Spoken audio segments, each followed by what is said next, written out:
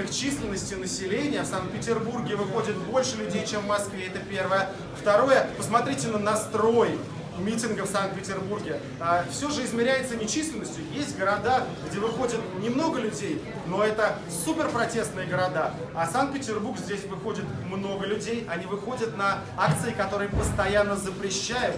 Они выходят, несмотря на то, что Санкт-Петербургская полиция устраивает каждый раз массовые аресты. А, и все уже знают, что будут массовые аресты. И все равно люди выходят, и, как я уже сказал, атмосфера.